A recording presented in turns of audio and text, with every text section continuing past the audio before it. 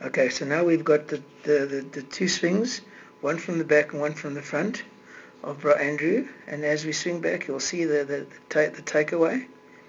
Is there's a nice triangle going back.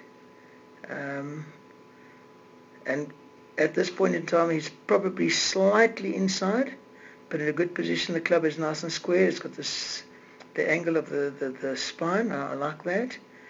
Bring it to the top and see where the position gets there. There's a slight movement on top. If you look at the club from there to there, there's a slight little ringing of the club. If I just mark it,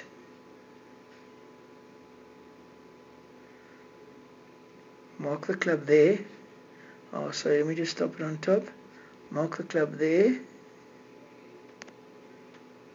And mark that club there there's a slight dropping from the, the club inside before it comes down.